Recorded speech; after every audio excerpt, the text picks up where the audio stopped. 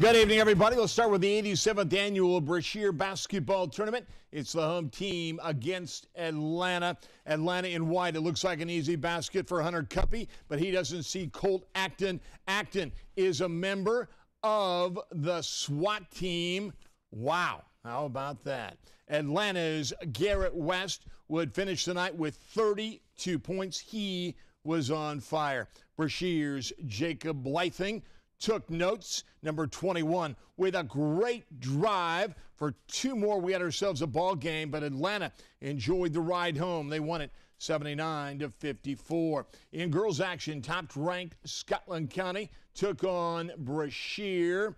Early on, Scotland County and White was cold from the outside. Kaylee Hall gets the rebound and would score for Brashear as she would tie the ball game up at four. It's the Tigers' Abby Feeney who paws it away and gets the easy two points. Brashear would double on the baseline, but Wood gets the easy basket inside. The Tigers' Abby Kirby would get those two points back with a nice little move, but Scotland County would go on to win it. The final tonight, 69 to 31. The Ottumwa girls were home to face Mount Pleasant. Ottumwa in white wanted to push the pace. They did. Jada Schragi would score.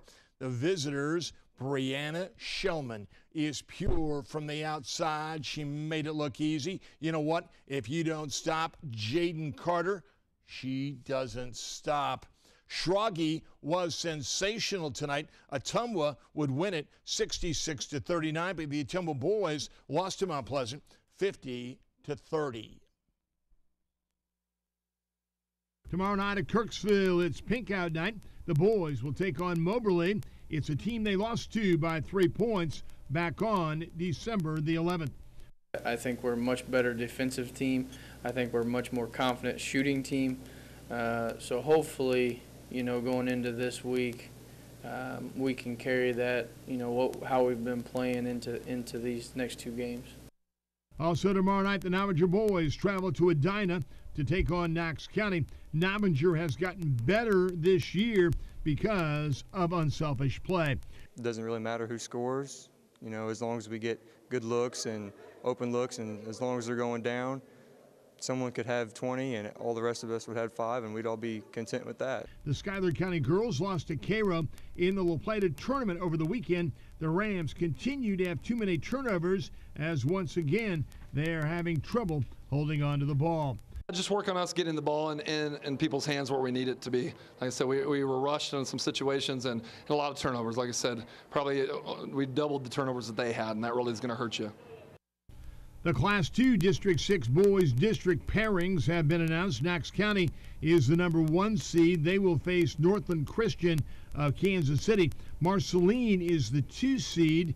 Not sure about that. They will face Princeton in Scotland County and Putnam County and Schuyler County will tangle with Princeton. On the girls' side, Scotland County is number one. They will face Milan, and they will face the winner of the Marceline Putnam County matchup. While the second seed in the district is Schuyler County, they will face Princeton and it's Knox County against Northland Christian. The Truman State men split their road trip, beating St. Joe's and losing to U Indy.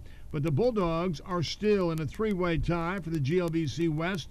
They need to take care of business at home against Parkside and Lewis, as getting a bye in the conference tournament is big.